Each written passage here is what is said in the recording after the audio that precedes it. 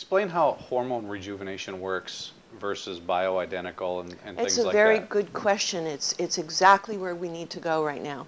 Is um, if you take a bioidentical or synthetic hormone, you are taking a medication, a drug. There is nothing natural about either one of them. Bioidentical is claimed to be natural, but it's compounded. As soon as you compound something, it becomes synthesized, it's synthetic, okay?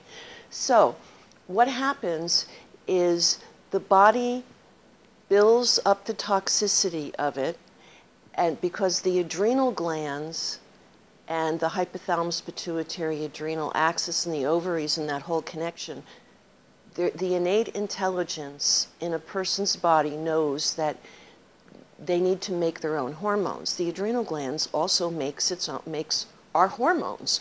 So when you're pumping hormones into your body, the adrenal glands stop making their own hormones, which ages you, ages you, not anti-aging at all. See, the adrenal glands get really tired and they go to sleep. Just like if you took a thyroid medication, uh, which they have thyroxine in it, just like at that. When you take that, then the thyroid is put to sleep. I mean, not vegetative, not functioning. True with any hormone. So what happens is you put your body into a vegetative state.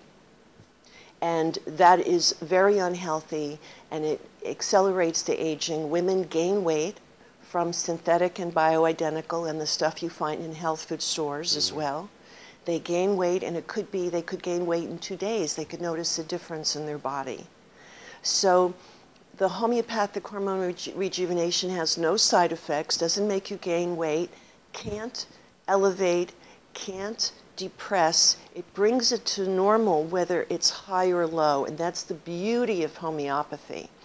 If a baby got a hold of the liquid and and um, and if the baby got a hold of the liquid and ate it, nothing bad would happen.